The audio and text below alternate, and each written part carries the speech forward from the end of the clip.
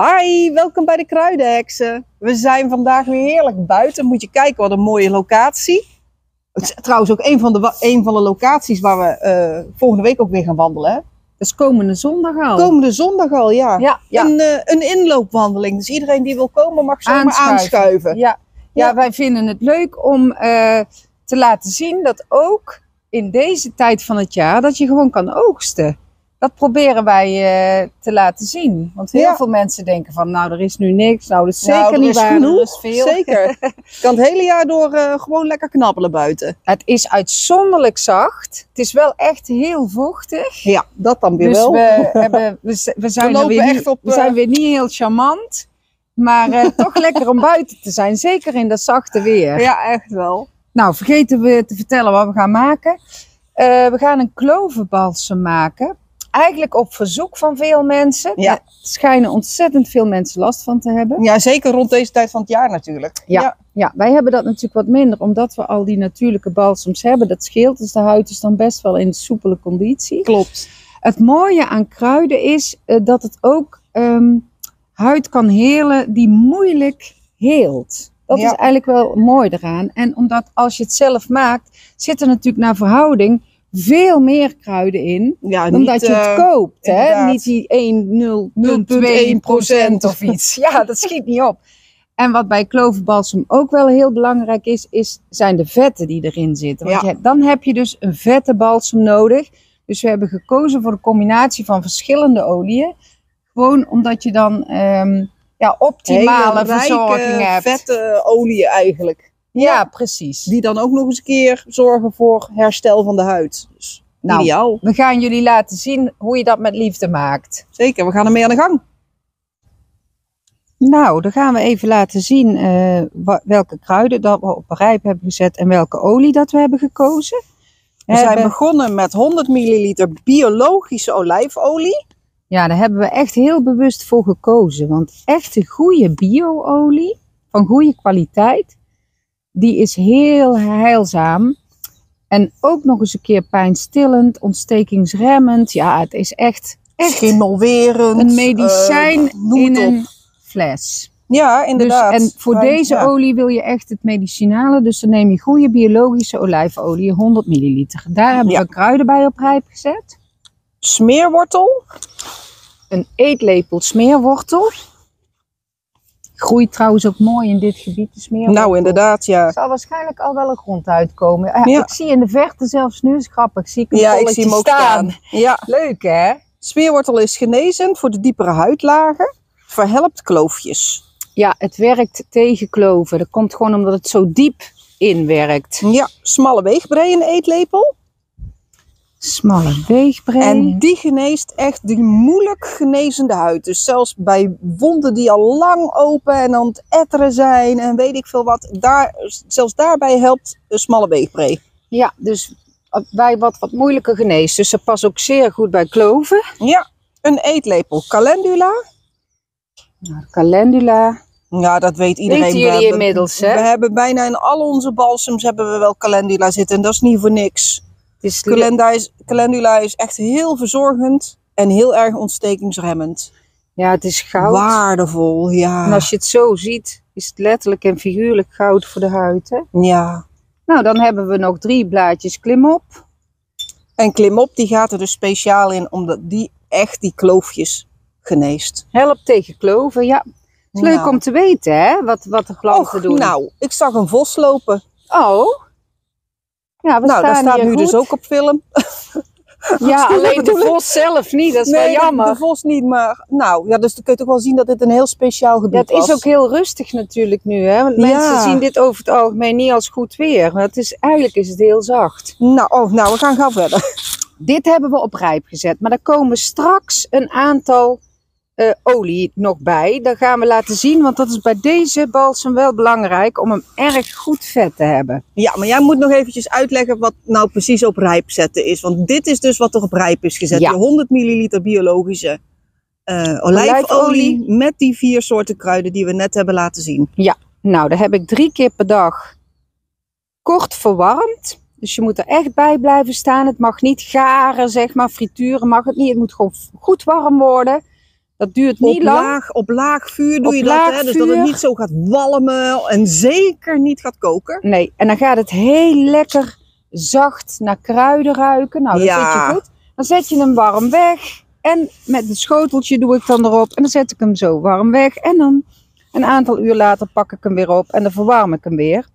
En de warmte in de olie zorgt ervoor dat de kruiden hun bestanddelen afgeven. Nou, heel vroeger werd dat gedaan met varkensvet. En nou, we hebben gelukkig het geluk dat we nu prachtige oliën voorhanden hebben die Nou, we ervoor kunnen inderdaad. gebruiken. Ja, Maar het is een hele oude manier van werken. Dus drie keer per dag, drie dagen lang. Nou, dan zijn die bestanddelen uit de olie in, of uit de kruiden in de olie getrokken. ja dan Dat ziet kun het je er ook dus zien. zo uit, hè? Ja. Als je het uitzeeft, want de kleur van de olie verandert, maar zeker ook de geur. En natuurlijk ook de werking. Hè? Het is gewoon een verrijking. Dan ga ik even het pannetje pakken om het uit te zeven. Even kijken. Ja. Behalve de klimop zijn deze kruiden droog. En je zult ook zien dat er iets van kruiden eh, achterblijft in de olie. Dus zeg maar hele fijne stukjes. Ja, maar dat is niet Dat erg, mag hè? bij deze balsem best. Zo, mag jij hem even uitdrukken? Ja. Want we hebben op de klimop na allemaal eh, verse kruiden of eh, gedroogde kruiden gebruikt. En alleen door de klimop mag je dus niet helemaal uit gaan persen. Ja, daar zit gelukkig niet zo heel. Er zit Nee. kwaad erin met die drie blaadjes. Kan geen kwaad. Kan niks. eh, Nee, maar het is zonde om die, die olie die nog in die kruiden zitten, Ja, die dat in is in de- in zeker. de zeef zitten, om die niet te gebruiken. het is hele rijke olie, hè? Ja, Ehm, wat we nu kunnen doen, is de 30 gram koolzaadwas erbij te doen om er een balsem van te maken. En nog andere olie. Zullen we wel even laten zien waarom. Doen we eerst even de koolzaadwas, want die doet het langste erover om eh, te smelten. Die heeft een bepaalde temperatuur nodig en dan is die ineens weg. Maak niet de fout, want dat hebben we ook al wel vaker gehoord van mensen. Dat ze denken, oh hij ehm, eh, smelt nog niet, ik zet het vuur hoog. Dat moet je dus niet doen, want dat is zonde. Dan ga je dus alsnog, terwijl je zo mooi hebt gerijpt, je olie frituren. Dus nee, inderdaad. neem daar Geef even de tijd voor. even de tijd. Als die olie warm genoeg is, dus weet ik veel. Ik geloof iets van, van weet ik Ja, niet. wat eh, was het alweer? 23, 24 graden of zoiets. Weet het niet meer. dan, dan gaat hij smelt. langzaamaan smelten. En daarom kan het ook zijn dat je balsem, als die ehm, afkoelt, zeg maar, dat die, dat die gaat stollen. En als jij hem in je woonkamer of hebt staan, dat die bijvoorbeeld, eh, omdat het daar warmer is, een beetje vloeibaar, zacht is. En als jij hem in je badkamer hebt staan waar het wat frisser is, dat, dat het gewoon een harde balsem is. Dus dat is niet raar. Even kijken. Eh, daar wil ik dan heel graag bij doen eh, de shea butter. Kun jij eventjes daar iets over vertellen? De shea butter, die is verzachtend, beschermend en geeft een hele goede ge- eh, huidsbarrière. Dus zorgt Ja. ervoor dat er geen invloeden van buitenaf zeg maar, je huid inkomen. Ja, en dan, zijn dit, dan kunnen die kloofjes beter genezen. Want dit mag echt een hele vette balsem worden. Ja, Nou, dat is de shea butter. Die mag samen met de koolzaadwas gaan smelten. Dan wilden wij er heel graag eh, biologische cacaoboter bij doen. Kijk, dat zijn twee nuggets biologische pure cacaoboter. Zou je zelfs kunnen eten, maar er zit geen smaak aan.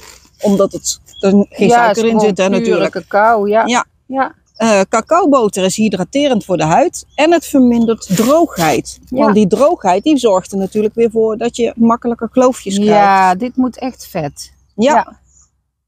Nou, de cacaoboter erbij. En dan hebben we nog, even kijken hoor. eh, de vitamine E-capsules. Nou, die doe jij altijd handig, hè? Vitamine E is heel huidverzorgend, voorkomt huidproblemen, maar is, wij gebruiken het voornamelijk omdat het een natuurlijk conserveringsmiddel is. Het is natuurlijk wel leuk als je zo'n balsem maakt, dat je daar heel lang plezier van kan hebben. ja, inderdaad. Hè, mocht je nou eh, echt voorzichtig met je balsem willen zijn, haal dan de porties die je nodig hebt met een lepeltje uit. Want je kan je voorstellen dat als je altijd met je vingers zo erin gaat, Ja, je zeker. eigenlijk ook je balsem vies maakt. Maar die vitamine E die werkt uitstekend als conserveringsmiddel. Daar heb je echt geen chemicaliën voor nodig. En ehm, knip ze aan het puntje in en knijp ze dan uit, net zoals dat ik net deed. Het voordeel is dat je en de hele capsule leeg kan knijpen en je krijgt het niet op je vingers. Want vitamine E is echt heel plakkerig, zeg maar. Je krijgt het bijna niet van je hand af.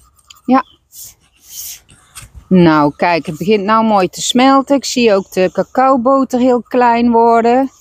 Ja, ik denk dat het goed is dat we het deze keer eens een keer helemaal op beeld laten zien. Zodat mensen zien hoe lang dat het kan duren. En dan hebben wij er nog maar gewoon een klein vlammetje onder staan. Want op het Ja. van huis gaat het natuurlijk veel sneller.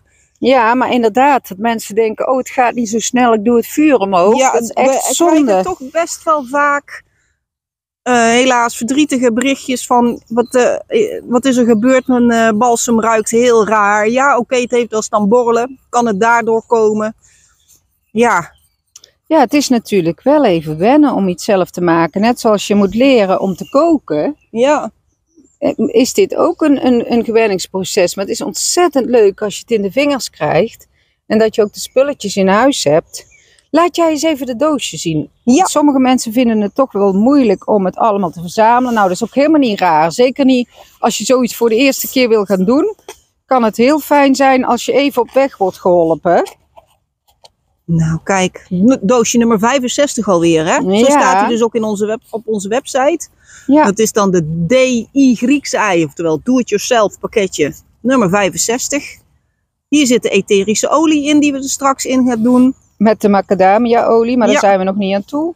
Smalle weegbree, smeerwortel, de vitamine E-capsules, de blaadjes hedera, calendula, cacaoboter en hieronder nog de koolzaadwas.